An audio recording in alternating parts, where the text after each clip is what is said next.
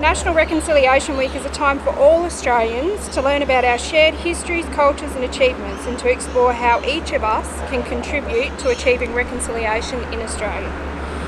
Whether you're engaging in challenging conversations or unlearning and relearning what you know, this journey requires us all to walk together with courage, with pride, with strength, and with dignity.